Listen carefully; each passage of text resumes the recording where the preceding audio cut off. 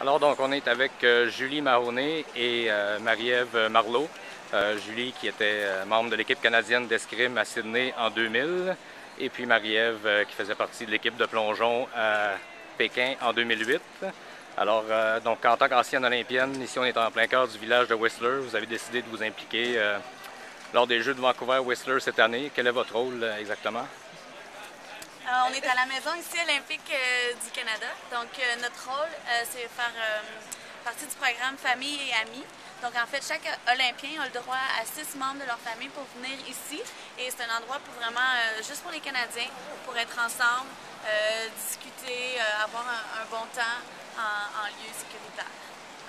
Et puis, qu'est-ce qui vous a motivé à vous impliquer durant ces Jeux-ci?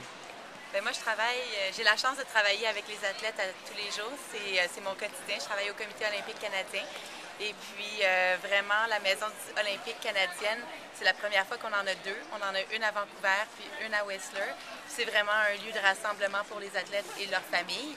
Et puis, on veut vraiment leur offrir le meilleur service possible pour qu'ils soient capables de se concentrer sur leur compétition puis rester focusés vraiment là-dessus. Puis, les à côté vont venir quand ils vont avoir fini.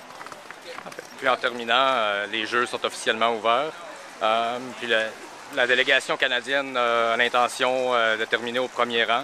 Puis vos prédictions en tant qu'ancienne olympienne sur les chances du Canada de terminer premier? On n'a jamais eu une équipe aussi préparée. On a un programme qui s'appelle À nous le podium qui a vraiment montré, qui a monté les, athlètes à un niveau jamais vu au Canada. Et puis on a toutes les chances de finir premier. Alors, allez Canada!